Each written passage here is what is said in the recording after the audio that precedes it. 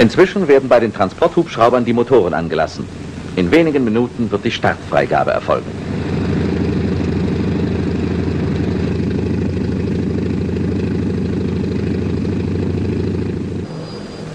Start.